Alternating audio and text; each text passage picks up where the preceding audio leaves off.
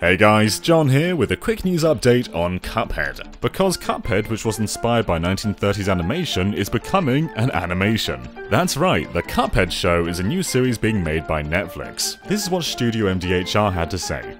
Coming to you in full color and signed sound, it's The Cuphead Show.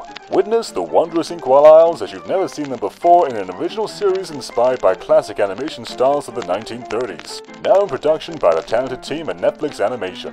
I'm pretty sure they're using that voice anyway. But yeah, this is really interesting stuff because the art and animation of Cuphead is arguably the best part of the game. It was also confirmed the game sold 4 million copies across all platforms, so the gameplay probably has some fans too. So are you guys looking forward to this, and what do you expect? Let us know down below, and of course be sure to subscribe to GameXplain for a lot more on Cuphead, and other things gaming too. Until next time, bye.